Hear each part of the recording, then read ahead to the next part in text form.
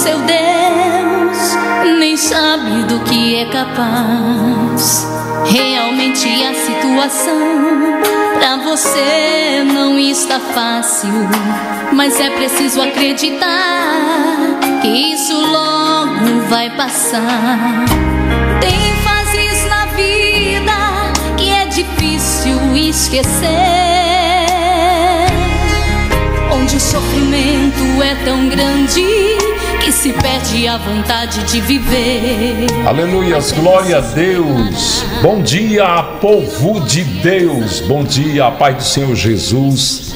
Pastora Jossanete, a paz do Senhor. A paz do Senhor, pastor, a paz do Senhor, todos que já estão conosco nessa manhã. Que Deus abençoe grandemente cada ovelhinha de Jesus. É, um abraço. As de perto e as de longe, um abraço assim, Um beijo bem carinhoso. Nessa manhã abençoada, que Deus possa chegar com cada providência que nessa manhã foi entregue a Ele, em nome de Jesus. E já digo, vá compartilhando, vá deixando seu joinha, que você vai compartilhar as maravilhas, grandeza desse nosso Deus.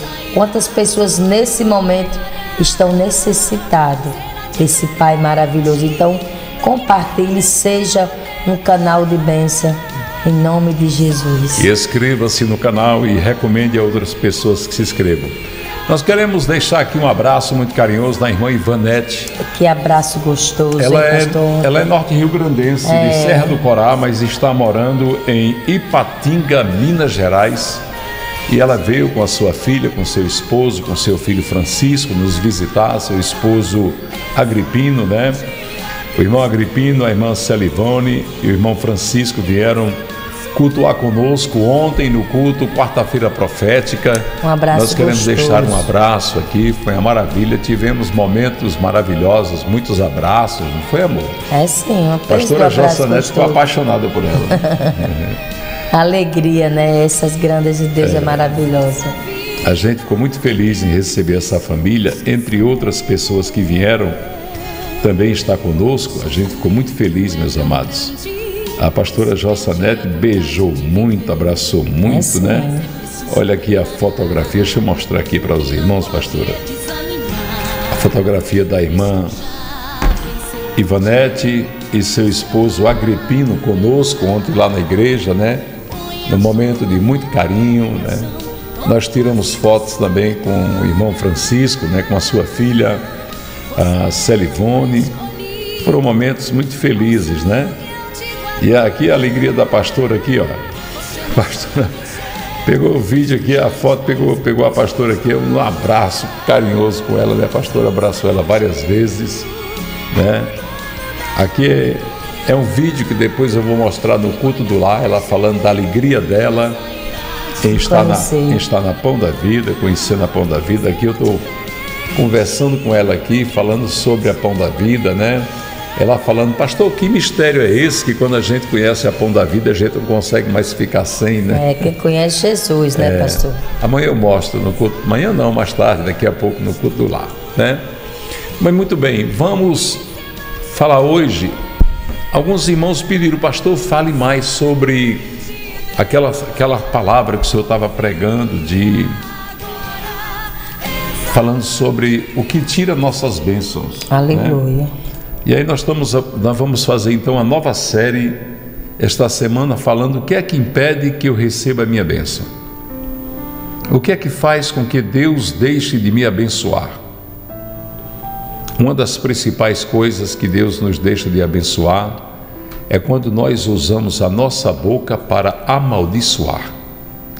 Amaldiçoar as pessoas, desejar mal, é quando usamos a nossa boca, que deve ser usada para abençoar, para pregar a palavra de Deus, nós usamos para desejar mal, para falar mal das pessoas, ser ingrato, pagar as pessoas que nos fizeram bem com ingratidão, não reconhecendo o que elas fizeram, e nós reservamos aqui alguns versículos. A ingratidão, irmãos, é quando não reconhecemos o bem que nos foi feito. A pessoa ingrata não valoriza as bênçãos que recebeu e nem agradece. Em vez disso, vê sempre os problemas e as coisas que não recebeu.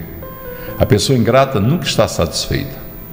A palavra de Deus, a Bíblia Sagrada, diz que devemos ser sempre gratos a Deus e dar graças em tudo.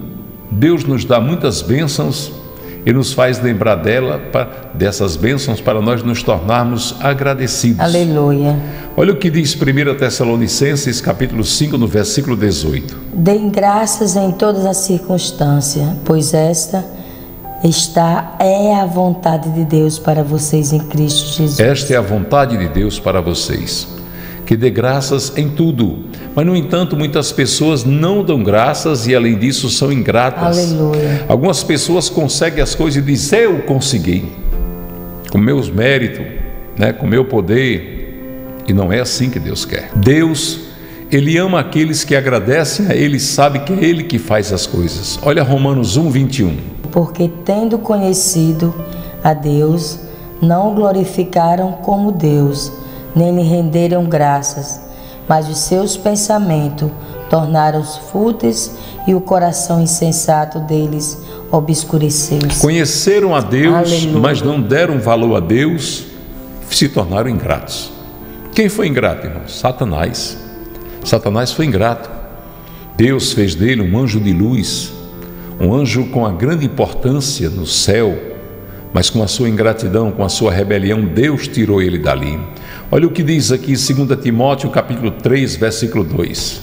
Os homens serão egoístas, avarentos, presunçosos, arrogantes, blasfemos, desobedientes aos pais, ingratos e ímpios.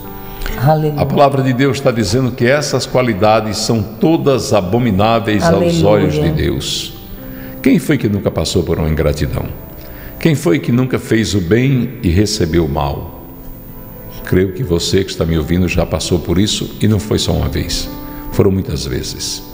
Os pais geralmente sofrem muita ingratidão, os avós sofrem muita ingratidão dos filhos, dos netos e os amigos dos amigos também. Pessoas que não agradecem o que receberam. Aquela, aquele velho adágio que diz: fez 99, não fez 100, não fez nada. É verdade? E as pessoas ingratas, elas vão seguir sua vida sofrendo, sempre sofrendo, porque Deus vai fechar as portas para elas. Elas nunca vão conseguir vencer na vida. Não vai nunca ter a vontade de Deus a seu favor.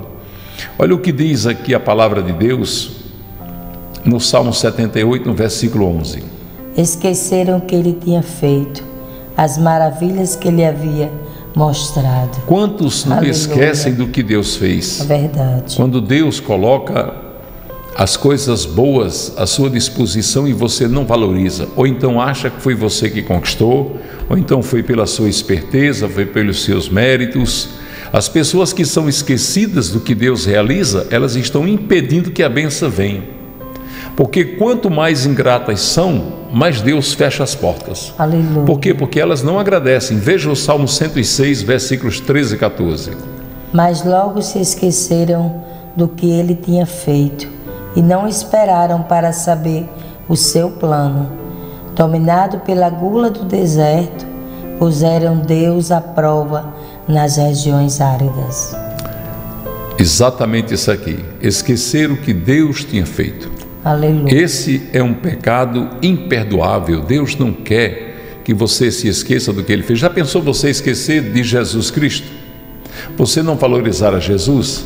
Aquelas pessoas que dizem que Jesus não existe, aquelas pessoas que dizem que Jesus não existe, elas estão fazendo um grande mal a elas mesmas.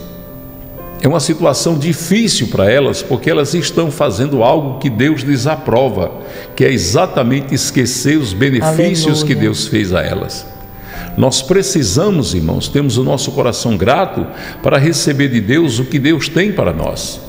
Deus tem maravilhas para realizar na vida de cada um de nós. E nós precisamos ter essa direção de Deus para não cairmos na tentação de fazermos aquilo que não agrada ao coração de Deus. Então, tenha um coração grato. Quanto mais ingrato você for, mais portas você fecha. As portas que Deus reabrir se tornam portas fechadas por causa da sua ingratidão. Então, hoje estamos falando sobre ingratidão que fecha portas. Amanhã nós vamos falar sobre mentira. Mentira foi a arma de Satanás para tirar os anjos de Deus. Um terço dos anjos ouviu a voz dele com mentira, e por isso Deus detesta, abomina a mentira, e Deus diz que o pai da mentira é Satanás. Muitas pessoas perdem a bênção porque são mentirosas, mentem demais, enganam a todo mundo, não fazem as coisas certas e pensam que vão levar vantagem nisso, está enganando as pessoas e estão se destruindo a cada dia. É cada vez mais para baixo. Você não conhece um mentiroso que faça, faça sucesso na vida. A mentira não faz sucesso de ninguém. Amanhã nós vamos falar sobre mentira. E essa semana vamos trazer um recado de Deus para a sua vida. Aleluia. Aquilo que impede a sua bênção.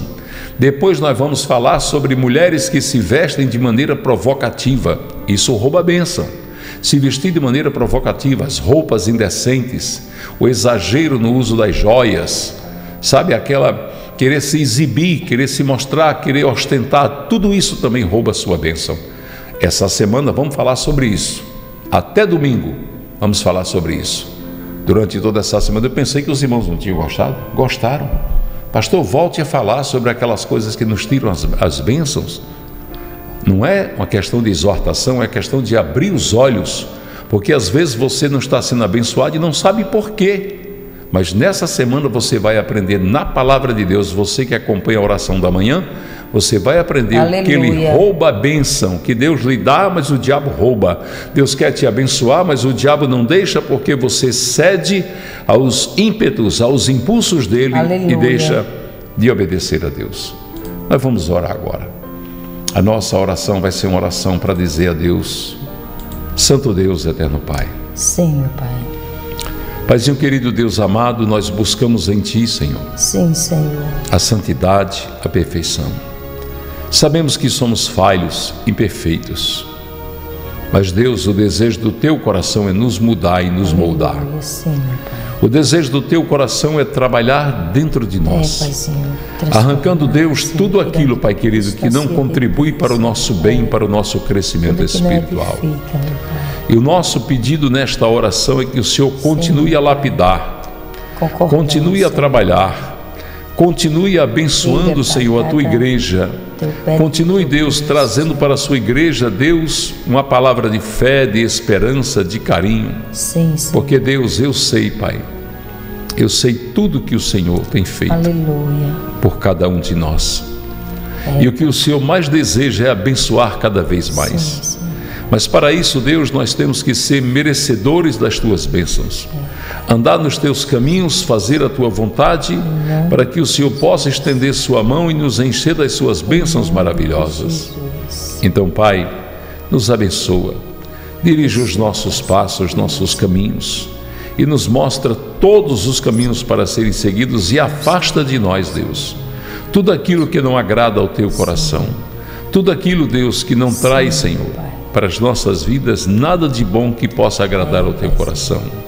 Purifica-nos, Senhor, com teu Santo Espírito e nos ensina a viver nas veredas da justiça por amor do teu santo nome.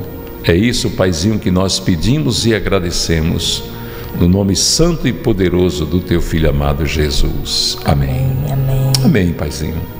Muito obrigado, Jesus. Obrigado por mais um dia. Obrigado por tudo.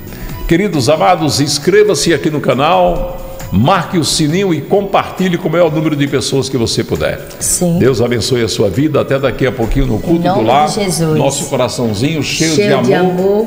Amor por Jesus e por vocês. Amamos Abraço vocês em Cristo bem Jesus. carinhoso a cada ovelhinha. Um beijo nas nossas ovelhinhas queridas. Fica na paz do Senhor Jesus. Compartilhe e inscreva-se.